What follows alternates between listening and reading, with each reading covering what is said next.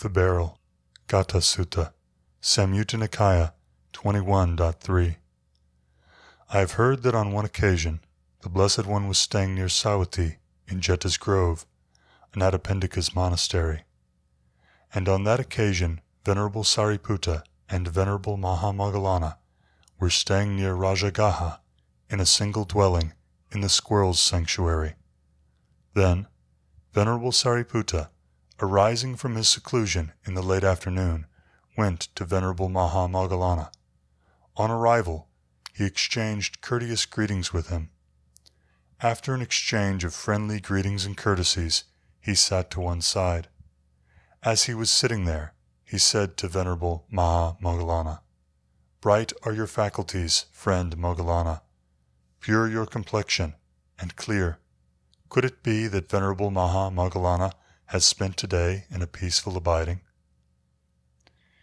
It was in a gross abiding, my friend, that I spent today, but I had some Dhamma talk. With whom did Venerable Moggallana have some Dhamma talk? With the Blessed One, my friend. But far away is the Blessed One now, in Jeta's Grove, and Anathapindika's monastery. Did Venerable Mahamoggallana go to the Blessed One through psychic power? Or did the Blessed One come to Venerable Mahamoggallana through psychic power? I didn't go to the Blessed One through psychic power, my friend, nor did the Blessed One come to me through psychic power. Rather, the Blessed One focused his divine eye and divine ear to my location, and I focused my divine eye and divine ear to the location of the Blessed One. And what kind of Dhamma talk did Venerable Mahamoggallana have with the Blessed One? Just now, my friend, I said to the Blessed One, One aroused of energy, one aroused of energy. It is said, Lord, to what extent is a person one aroused of energy?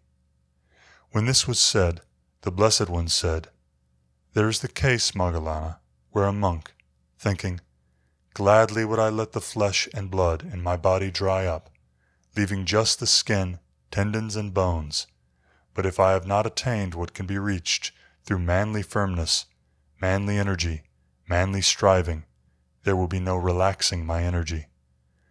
That is how one is a person of aroused energy. That is the Dhamma talk that I had with the Blessed One, my friend.